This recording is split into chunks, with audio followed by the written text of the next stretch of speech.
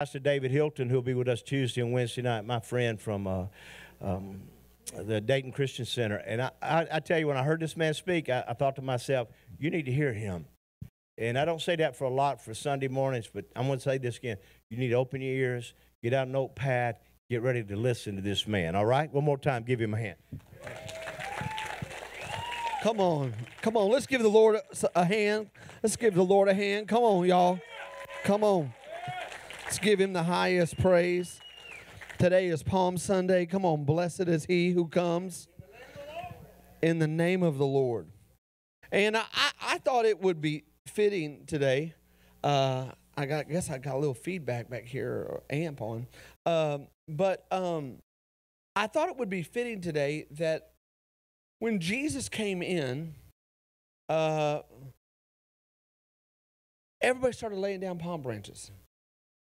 Uh, there was celebration, but there was ultimately no trust. There was celebration. This is it. Oh, the mighty conqueror is in the room. We're about to take it all back. Rome, y'all get ready. We're about to go. There was celebration and no trust. And so I was just wondering today if how well we trust the Lord. How well we trust the Lord.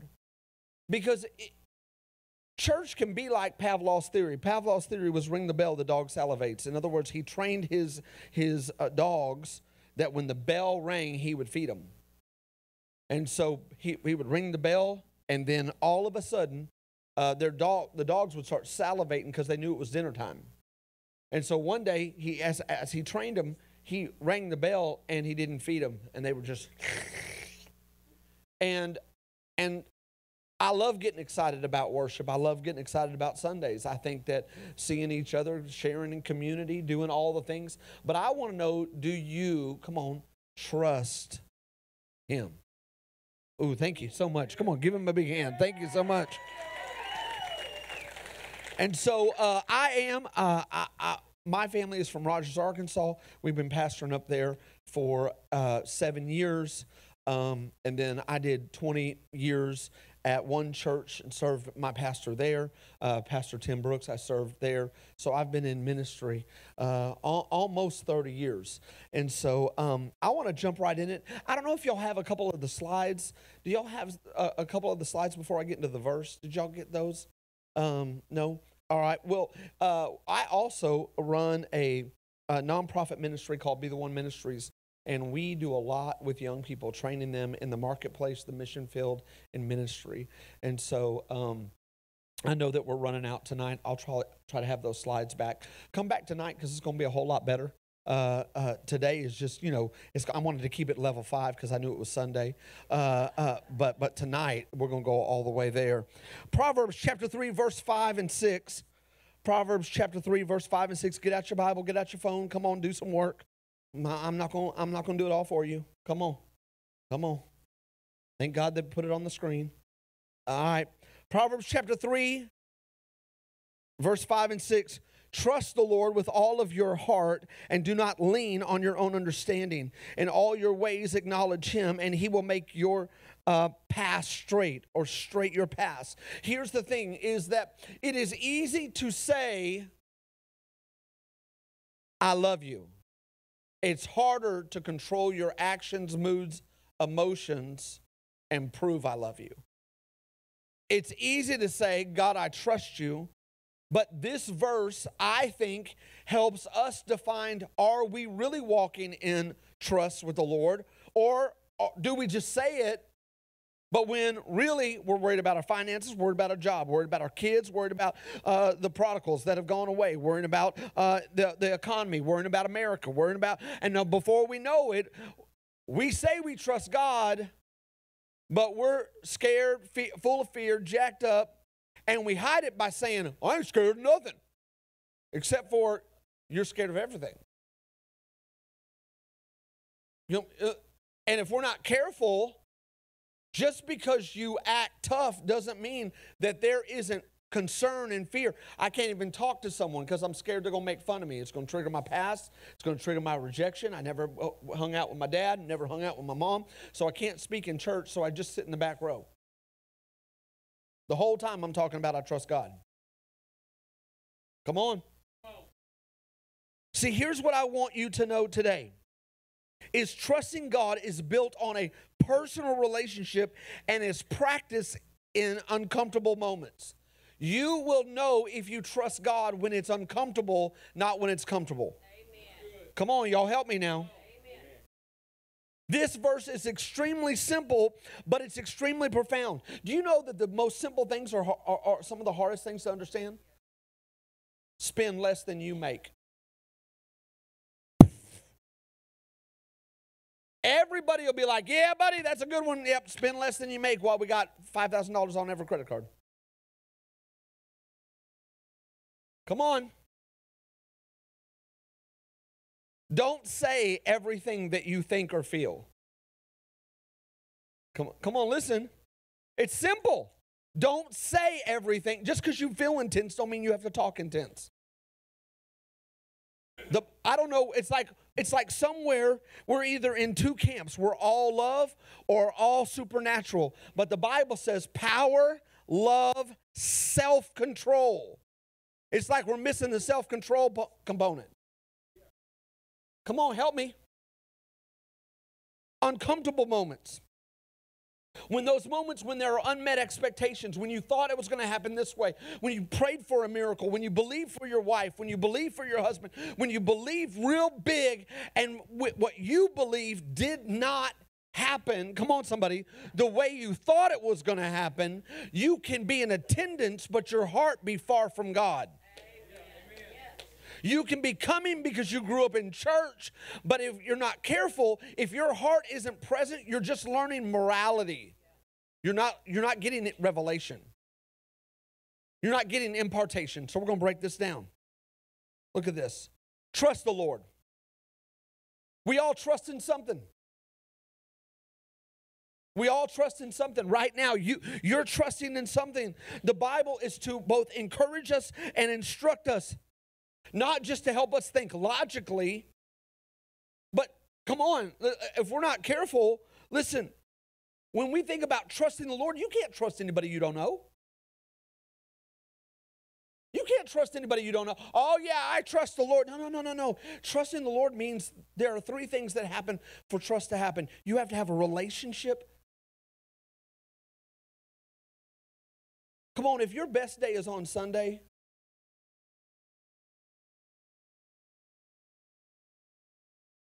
I'm going to use all my Christian vernacular on Sunday. Okay, got, got, my, got my phone out. Amen. Hallelujah. Bless God, brother, sister. But on Monday, that son of a. Come on. Relationship. Well, God, I got a lot of work to do, got a lot of mouths to feed, got a lot of bills to pay, so I'm going to give you Sunday, but I ain't giving you any other time. So you trust you. You trust you but you don't trust Him. Because it's about forming, come on, someone, a relationship, believing that my time with God is actually not a hindrance, but it's actually the fuel that begins to help me think wiser, see things, but prophetically begin to know where I should be, what I should do. Come on, does that make sense? And so, well, I tried to pray, Pastor. I talk and he doesn't. I start getting up there and I'm like, I don't even know what to do. Hey, God. But here's, here's what you have to know God speaks in a still small voice. The Bible tells us that his word doesn't come back void. And it says that my sheep know my voice. And so you'll know it. God will speak to you. And you'll just know. You'll see. You'll hear. There's ways that God begins to speak to us and we, God doesn't speak to everybody the same way. You're not going to hear Mufasa, Simba.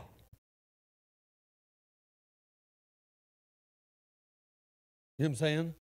You must go to General Dollar now. Now, Lord? Now. Four things that you've wanted to buy is on clearance. Thank you, God. Come on. It's like it's like all of a sudden we don't want to trust God. So I'm not going I'm not going to build a relationship with him. I'm going to be preached at and I'll do that, but I'm not going to build a relationship. What about this? Dependence. Dependence, meaning I depend, come on, on him. Jeremiah chapter 17, verse 7 says, Blessed is the man who trusts the Lord. Come on, whose his trust is the Lord. Are we becoming dependent on the Lord? Or are we becoming dependent on government, dependent on our job, dependent on our pastor, dependent on our mate, dependent on our. And I'm not saying that there aren't places that we lean, but you're going to have to lean first, come on, on the Lord. Becoming submissive. In other words, surrendering yourself and submitting what you want to do to what He wants to do. That's trust the Lord.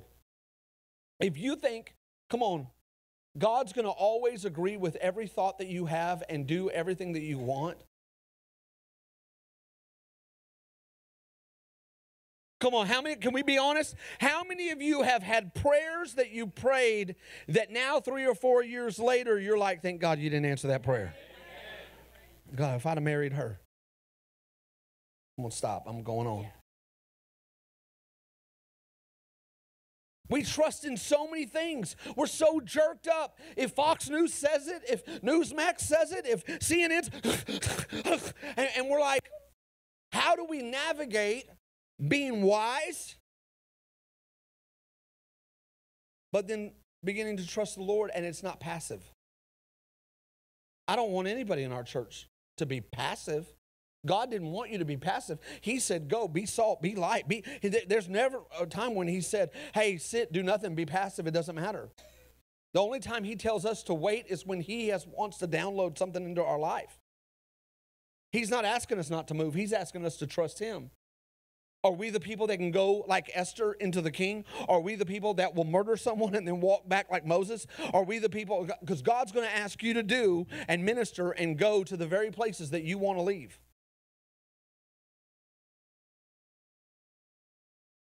I trust the Lord. God's been putting it on my heart to reconnect with my daughter. So I've been thinking about it five or six times this month. And so, dang it. Lord, I do not want to start that conversation. I know how it's going to go. I don't like it. I don't want it. I'm, I'm just waiting for her to come and repent. But you know what? I know I need to pick up the phone.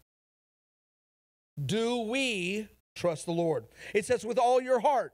Come on. James chapter 1, verse 5 through 8 says, If any of lack wisdom, let him ask God who generally gives and begins to walk through. Listen, we got so many people confused, tossed by the winds of the way. And the reason they're confused is because they have what they want to do, and then they're trying to be led by what God wants to do. You can't do it your way and His way.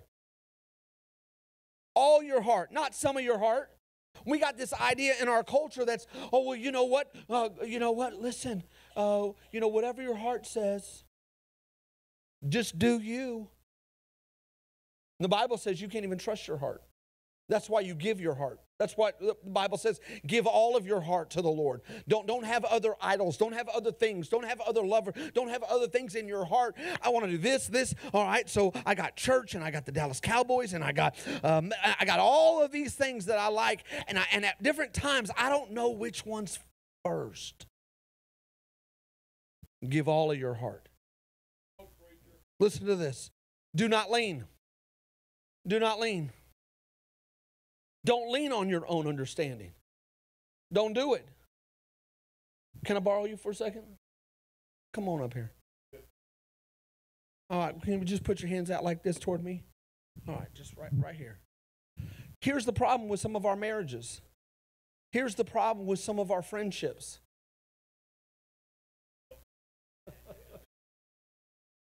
You wonder why you're having stress and problems in your marriage is because you're leaning on her or you're leaning on him to make you happy. You're leaning on the pastor. You're leaning on the government. You're leaning on Trump. You're leaning on whoever you want to try to keep this thing afloat. And God's like, yo, when did I stop being God?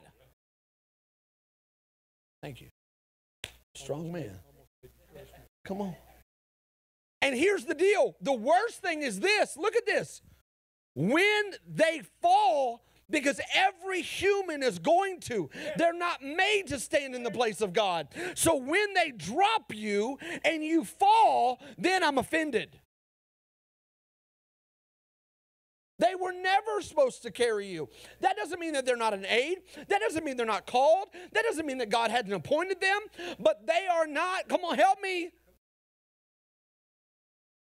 Your marriage would be a whole lot better if you stop giving all of what you think and start going to the Lord. Give Him what you think first. Let Him begin to talk to you and then go talk to your spouse. Y'all should have helped me on that. Thank you for the golf clap. I feel like we're on the golf course. Thank you. Good. That was so weak, y'all. Come on, come on. If you don't do it, do it. Don't don't lean on love. If I can just find if I can just find love. Listen to every song on the radio. Come on. I grew up in the 80s. At least they had good music in the 80s. Come on. Don't stop.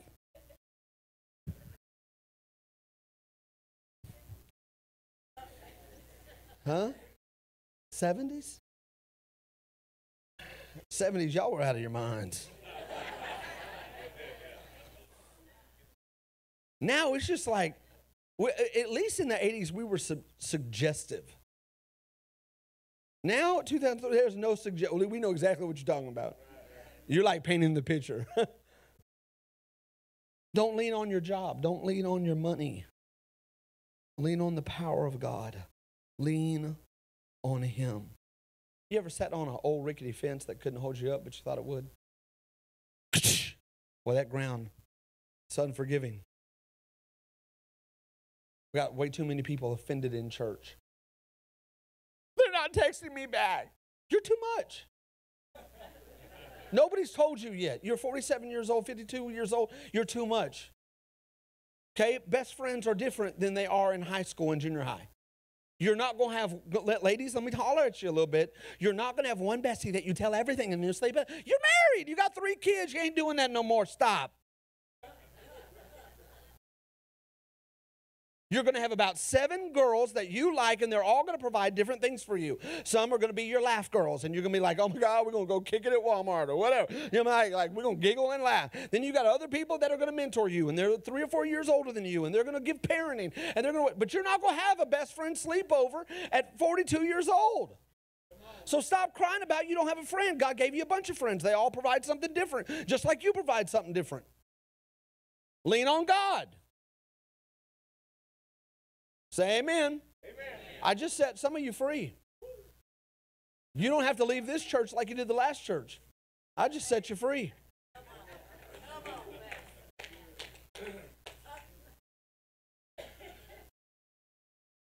Uh, you're not ready for me. I'm telling you. I may not ride a horse, but I'm telling you, I come like thunder. Listen, it says acknowledge him. Acknowledge him. How, how sad would it be for Pastor Jerry to be here in the service and then see you two days later and pass you at uh, the donut shop and not even acknowledge you? Acknowledge you. Now, I mean, you may have come two or three times and he may not know your name yet. Go ahead. I mean, but to not be like, hey, I thought, how are, or when you acknowledge him, for him not to, but we got people living their life no longer, I'm almost done. Uh, uh, uh, uh, we, we, we, we got people, listen, listen, we got people not even acknowledging the Lord don't even know where he's moving, don't even know what he's doing, totally have missed, don't even see what God's doing. You're frustrated and mad at everything, and God's positioning you. You took it as a moment of stress, but God's building your integrity, God's building your character, God's building your per, uh, perseverance. Can I tell you something? You don't. You're not born with perseverance. You're not born with the character. You're not born with integrity. You develop it in uncomfortable moments. And I'm telling you that can we be a church that acknowledges Him, that sees Him? Him. Oh man, that, that truck, I can't believe they ran that stop sign. And I just stopped. Thank you, Lord. Can we acknowledge the Lord? Or are we so blind? Come on, if you're gonna do it, do it. We don't acknowledge God. You've been praying for your teenager for all year long, and they finally come and sit down and start crying and say, I want to change. And not one time did you fall on your knees and beg God, but you've been mad at God for a year.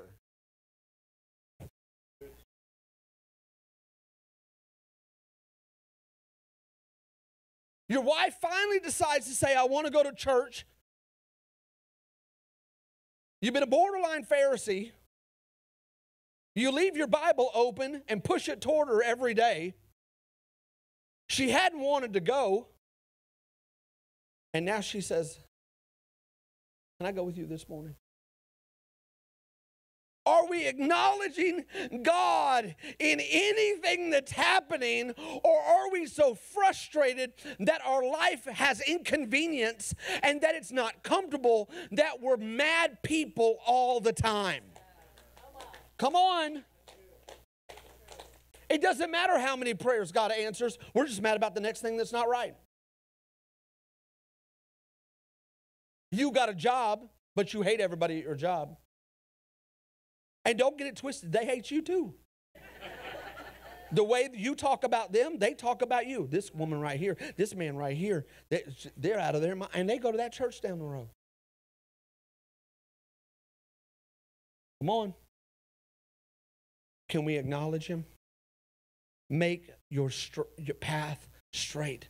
Listen, if we will lean not on ourselves, if we will trust the Lord with all of our heart, if we will give him our heart, if we will begin, come on, listen, to acknowledge him, then we will not be confused when all of society is confused. It's not hard to understand. Pharaoh couldn't see it. His mind was blind. Don't, don't, don't start picking it and po- protest. The reality is that the, the enemy has covered the eyes. People can't even see. I mean, it ain't that hard to know that a man is a man and a woman is a woman. It ain't that hard to know. You just look down. Now, I don't, I don't have a degree, you know, in, in like four or five PhDs. But how have you gotten to that much school and you don't understand that?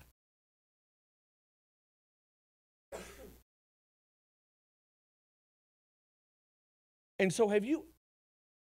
It's ridiculous for you to argue what you see with a blind person. Instead, you got to describe what you see. There's a difference. If you want them to have the revelation of what you see, you're going to have to be in moments where you can describe the goodness of God. But if we don't even trust Him, we'll never describe it. Come on, does this, does this make sense? So I'm going to wrap all this up. I got like five, five, ten minutes left. And the reason that I'm talking about this is because we see an incredible moment where Jesus shows up walking on the water. I'm going to give you some context here. So, this is important. Trust. Everybody say trust. Trust. Jesus was in a moment where John the Baptist was just beheaded. Okay? He leaves to go on a boat to process with his disciples. He gets there and there's a huge crowd there. He has a lot of compassion on them. He begins to heal them. Heal them, heal the sick, begin to teach, preach, does this deal. All of a sudden, 5,000 people show up, right? 5,000 men. Not, not, not, not just it. It's actually like 10,000, but, but it was like 5,000 men. Not women and children weren't counted. Okay? And then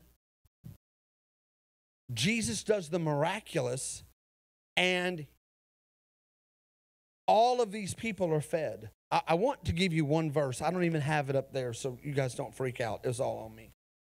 But, and in the evening, the disciples came to him, Jesus, and said, uh, This is uh, Matthew 14, sorry, Matthew 14, 15. This place is desolate. Everybody say desolate. And the hour is already late. Send the crowds away that they may go into the village and buy food for themselves. But Jesus said to them, They do not need to go away. You give them something to eat. Be careful what you call desolate. Can we talk? America is not desolate. Your marriage is not desolate. Your children are not desolate. Your finances are not desolate. Come on, hear what I'm saying. The men of God that had traveled with Jesus, that had the greatest perception of what God could do, told Jesus, Let's send everybody away because nothing good can happen here. And Jesus was like, uh, Feed them. There's no food. It's desolate. There's no economy. There's no growth. There's no vegetation. There's nothing here. If there was something here, we would be attached to it. The only thing that's here is you. yep. And it's enough. You hear what I'm saying? Then, after everyone gets fed, and then, I mean, can you imagine being the disciples? Can you imagine being one of Pastor Jerry's right hand people as he tells the whole community, hey, God, God's going to heal you, God's going to set you free, and it starts happening. And then he says, we're going to feed everybody who came, and everybody gets fed, and you're just like, it's been a lot of hard work, isn't crazy? But this is, awesome. you're like chest bumping, high fiving. And immediately, here's what happens. Let's look at this.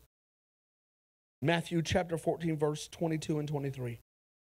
Immediately he made the disciples get into the boat and go before him to the other side. And while he dismissed the crowds, and after he had dismissed the crowds, he went up to the mountain by himself to pray. Can I tell you, every leader, anytime you see a miraculous moment, anytime God uses you greatly, anytime there's been an event, your next posture is prayer. Do not think that you can get up here on stage and just lead and pour out. Because porn will, porn will be the thing that catches you. Depression will be the thing that catches you. Insecurity, brokenness, whatever. You cannot pour out and not fill up. Jesus modeled when God uses you greatly, you have to then go posture yourself.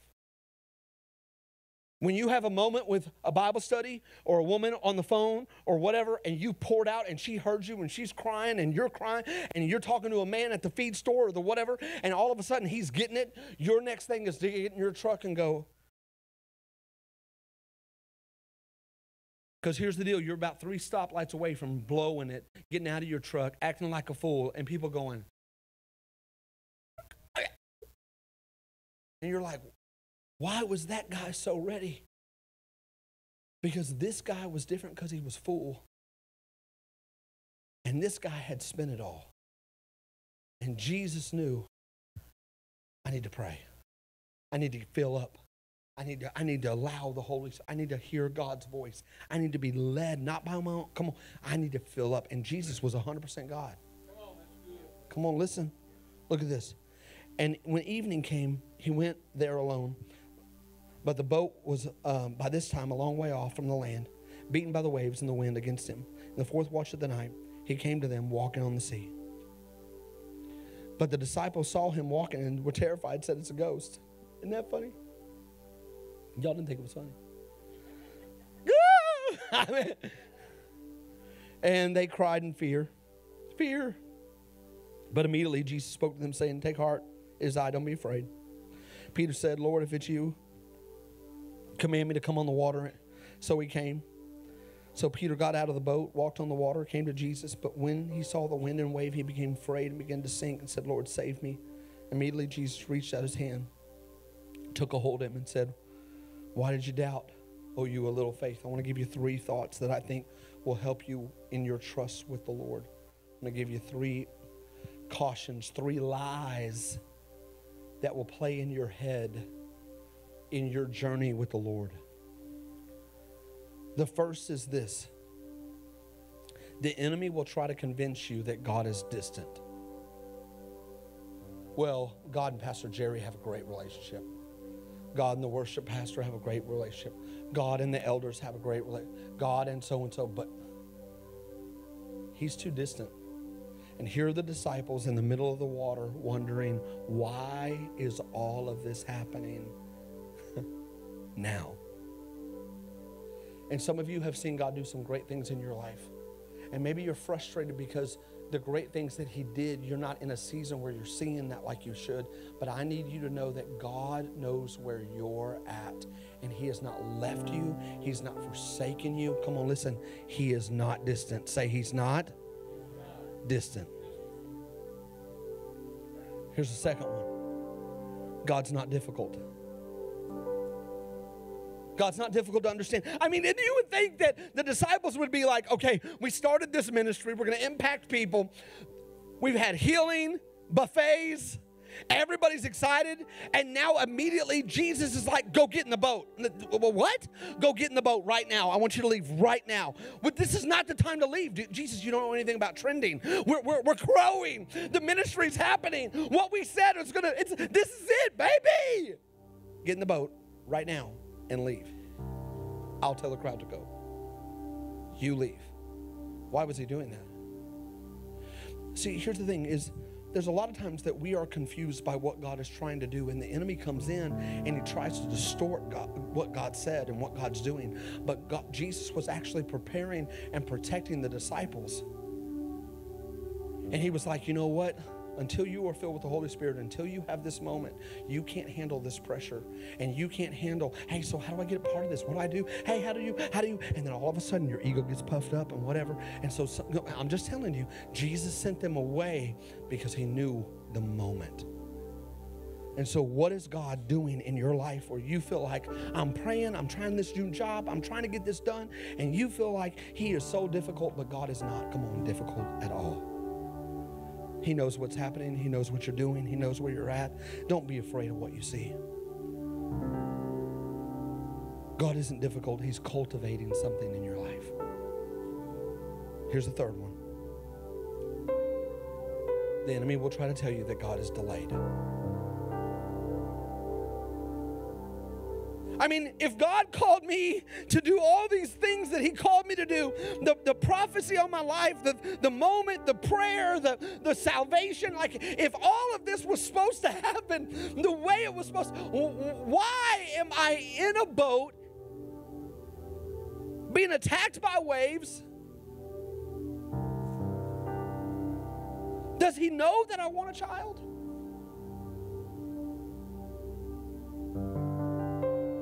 Does he know how long I've been praying for my son to get off drugs?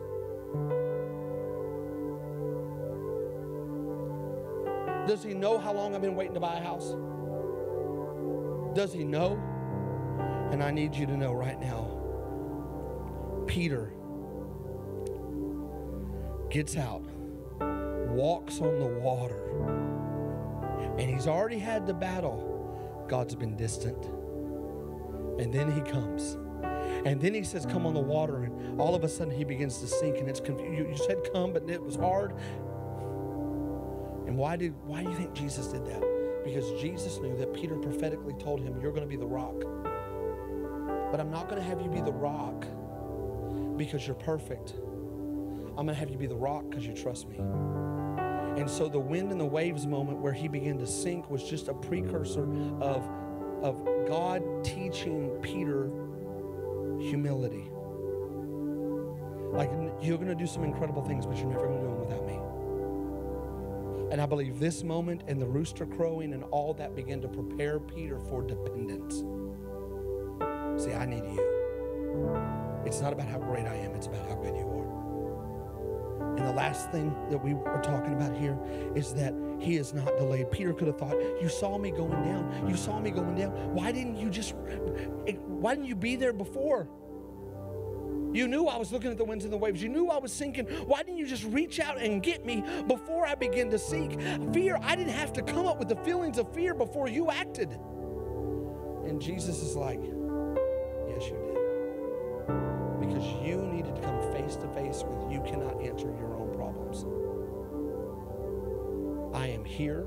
I am present. I am not delayed. I see your struggle. I see your fear. And I am moving and I'm asking you to trust me. To lean not on your own understanding, but in all your ways acknowledge him. There are moments that are going to be scary in your life, and you can't always be thinking God left you. There are moments that absolutely we believe in the Holy Spirit and the supernatural and God intervening and all of those things. But there will be moments. I had our two daughters were born and they had to go into the NICU. NICU.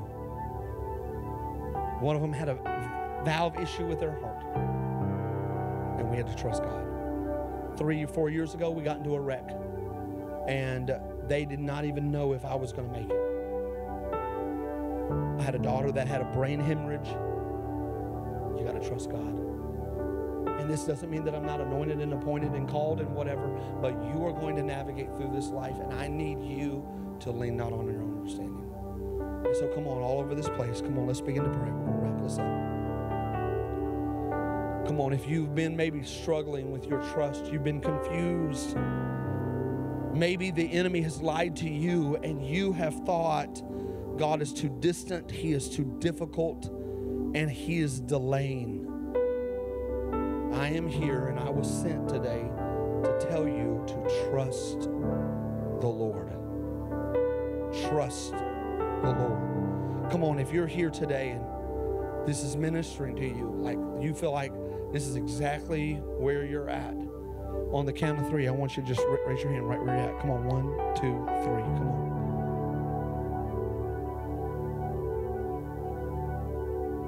Father, right now, in the name of Jesus, God, I thank you for every hand. Father, I thank you right now that you are moving. We give up our anger, we give up our offense, we give up our jealousy, we give up our control. Father, we thank you that you are present, that you are good, that you are not too busy for us, that we are not insignificant. We trust you. We trust you. Come on, I feel the presence of the Holy Spirit right here, right now. Thank you, Father. Father, I thank you that you are moving.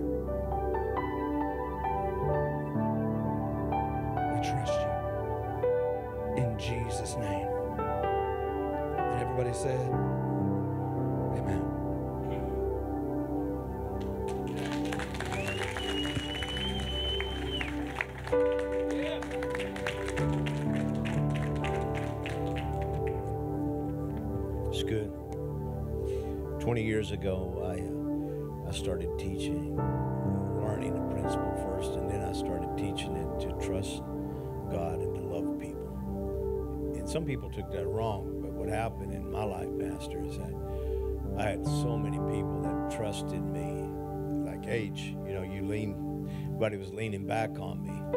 And then when I fell, when I quit, when I gave up, when I resigned, it shattered. And I said, God, I never want people to trust me again. I want you to love me. Because if you love me, love covers a multitude of sins. You can have confidence in me because of my ability to pastor, drive, ride, or whatever I do. You know, I, I took uh, Pastor Joseph and worked with him on riding scooters. And yesterday, I'm so proud of him riding with us. But there's there's a situation that I go through every time I get on a scooter that this is something I really love doing. I sure don't want you to get hurt because you thought, well, I just want to ride with Pastor or with other brothers. And Brian, you understand it. When you're out there, you really feel for everybody riding with you that, man, God, protect them, please. So I've lived my life the last 20 years encouraging and not just, you know, I don't say that, but I believe it. And thank you, Pastor, for preaching on it because I've never really preached the message out of Proverbs 3. Use it a lot during funerals. But I teach people trust God, love people. Because if they fail, love covers a multitude of sins, failures, mistakes, and missteps. So I thank you for loving me, and I encourage you to love one another. Amen. The scripture says that's how the that's how we fulfill the law, is that we love one another. And never teach it. And I think we've brought up generations of people teaching them to trust each other. We're not made for that. You get in the car with me, the first thing you're going to do is look for a seatbelt. Amen. Thank you. With me, you will. As a matter of fact, I will encourage you to put that seatbelt on because it's going to be a fun ride. Amen. Today, I want you to uh, to give not only toward back toward the ministry of this house, but also toward Pastor Steven. So, uh, in front of you is an envelope. Want you to reach for it. Everybody, look, it, it, it, fake me off. Act like you're reaching. Thank you. Amen. If you're giving on your phone, as the servant leaders go by, just hold your phone up. I'm giving home holywild.net slash give. If you're watching, amen. Those, if you, it's funny. If you're here, of course you're here. If you're watching, of course you're watching. Uh, please take an opportunity to give toward holywild.net slash give. Uh, Pastor Steven has how many kids? I looked at Sage this morning, and the first thing I said to him was, Your daddy's got to feed you, clothe you. He's got to look, it's going to cost probably a million bucks before you get out of college. He's going to need help. I looked at his poor daughter Lucy here. She needs money for a pair of jeans. Bless her heart.